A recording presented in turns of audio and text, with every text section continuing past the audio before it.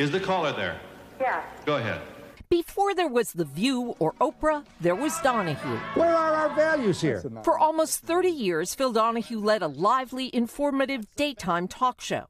Long a feminist rather than recipes and gossip, he elevated the genre to issues. We grew up with the gay rights movement. We grew up with the anti war movement. No subject was off limits.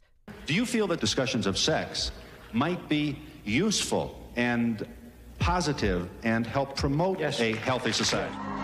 Or at the end, too salacious. Well, it's more competitive.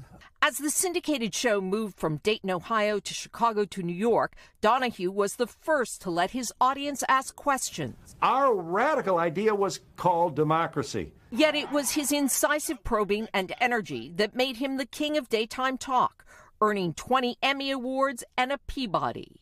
Tonight, Winfrey posting there would not have been an Oprah show without him. Donahue moved to cable but never duplicated his success. President Biden, who awarded Donahue the Medal of Freedom, From Irish Catholic roots in Cleveland, Phil Donahue rose to transform television. today called him an icon.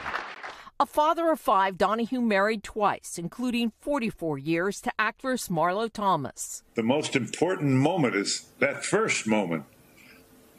I mean, it hmm. certainly was with me when I walked in the green room on the day that she was a guest. a television pioneer who got America talking. Anne Thompson, NBC News. Thanks for watching. Stay updated about breaking news and top stories on the NBC News app or follow us on social media.